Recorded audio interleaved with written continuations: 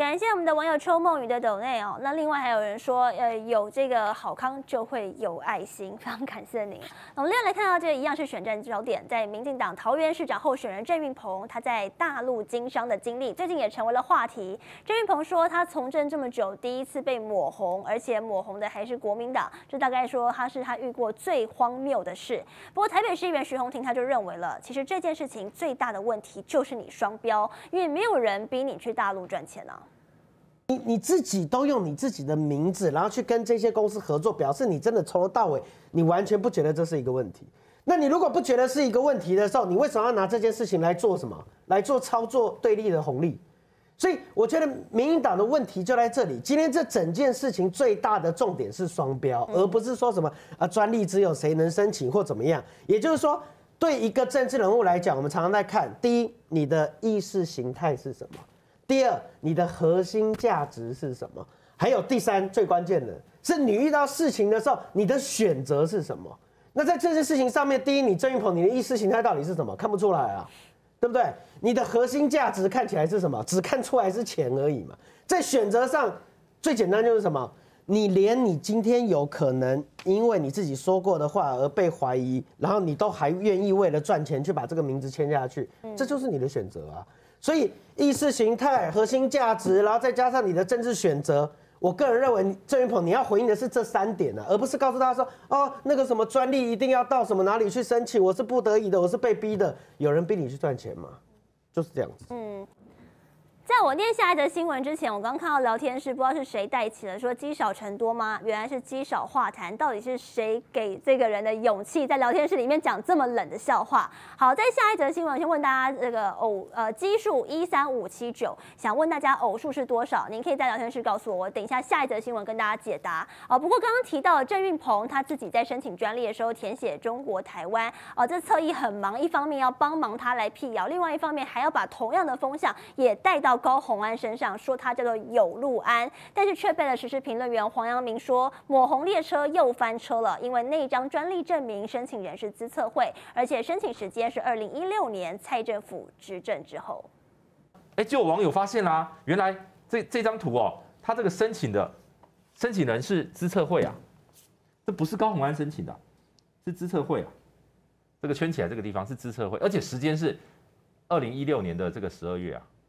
是蔡政府执政以后，蔡政府执政以后的资策会拿了高鸿安的发明的东西去对岸去申请专利，然后呢，你现在要说是高鸿安是是这个有路安，你这是不是又又翻车了？对，这个抹红列车它又翻车啦。民进党执政的时候就开始说到中国大陆就是洪水猛兽，就是这个有中资就是这个万恶冤首，是是谁定定这个双重标准？而现在检验我们就用一个标准，当你今天。你打别人哦，你都说是这个中资，是这个红钱，是舔中，结果自己去，哎，我就我是无奈啦，哎呀，我们这个那当时也快失业了嘛，我必须要去赚这个钱呐。你今天用这个东西再去打高红安，我觉得这个就就就奇怪了，因为申请的主体不是高红安呐，申请的主体他虽然做了一个发明，但是申请主体是资策会啊。那资策会又翻车，所以我才觉得，我还说这种检验哦，就是不堪检验，就是这种双标。你今天只要双标，就是不堪一击。我们我觉得我们这这次选战让大家看到一件很重要的事情，就是我们大家如果今天从头到尾都同一个标准，你就不会哎这个翻过来翻过去，哎那个叫这个这个周星驰的这个巴黎铁塔式的这个亲吻哦，就不用翻过来翻过去。哎，奇数是一三五七九，偶数是什么？偶数成雷。好，我们来看到，在国民党嘉义县长候选人王玉敏呢，在今天特地北上台中，请益台中市长卢秀燕亲自分享这城市运动以及长照政策成果，这也让王玉敏大叹嘉义县一座运动中心都没有，台中真的是名副其实的幸福城市，更希望透过今天的交流，回去可以作为未来嘉义县政的蓝图规划来参考。现在全国的民众，那越活越健康，越活越高龄，所以我们对于资深的长辈怎么照顾哈？那包括医疗、运动啊、守护等等都要加强。第一个，台中市我们恢复老人健保补助哈，台中市大概八九成以上的长辈每个月不用缴健保费，由台中市政府编列预算替他们缴，这样子可以减轻家庭的负担啊，让长辈那没有后顾之忧。第二个呢，我们的 A、B、C 长照据点有一千五百七十所，是全国最多。第三个，我们的长青班有一千班啊，那这个呢啊也是全国的数一数二。对于资深公民，我们的会给他们敬老爱心卡，那这个每个长辈每个月一千点，那他甚至可以到国民运动中心里面去抵缴。那然后包括要去看。医院它有挂号费也可以抵缴等等哈，它是可以全方面的运用。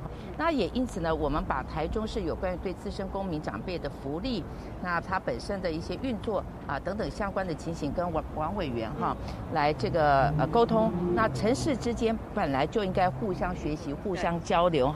同样是老人，但是生活在呃台中的老人真的是太幸福了。那我希望呢，借由今天的这样的一个观摩，就是要去强化现在嘉义县做的很不好的地地。方哦，包括现在嘉义县老人，除了中低收入老人之外，其他人都是要自费的。那这一点呢，我希望未来当选之后，也可以效法我们这个鲁县市长哦，就是给嘉义县的老人这个健保费都全部免自费负担哦。那另外一个。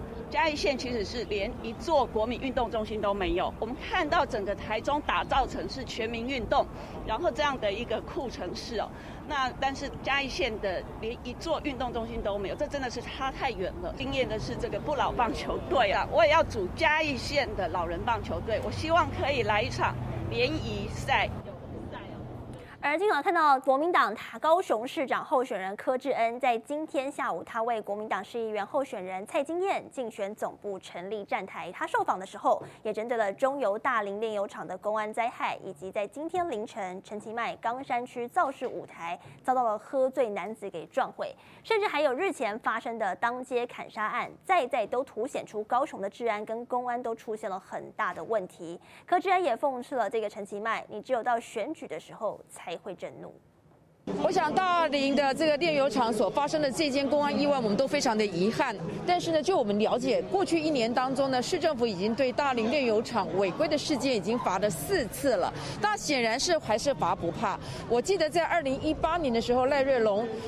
立委哦，曾经质疑过这个桃园的炼油厂发生的爆炸的这个事件当中呢，那时候的中油还信誓旦旦告诉大家说，大林炼油厂不会有这种事情发生。所以很显然，中油的承诺是完全是跳票的。所以我们对这些居民来说的话，他们是二十四小时都没有办法心安，不是市长震怒就有办法解决的。罚也罚的，震怒也震怒了，居民的安全还是在恐慌当中。我觉得市府应该拿出更积。极的动作，那额外我还是要提出来，高雄的治安最近也非常的不平静，像发生的一星二路的当间砍人的事件，还有昨天的酒驾竟然撞到我们市长这个这个要来做这个这个后援会的这个台子，那更不要说有关于凤山的抢案，所以治安不同的样态也让我们的市民心慌慌。所以不管是公安或是治安，我想市府在这一块里面呢，除了震怒之外，应该拿出更积极的做法。大家就是在我们摄影棚当中，现在全天候使用的就是旺旺水神的抗菌液。当然，我们装在这个雾化器里头，就可以做喷雾清消，非常的安全，不会伤身体。一天使用好多次都不成问题，儿童、孕妇也都可以使用。哪里购买呢？只要到我们这个快点购网站上头就可以买得到。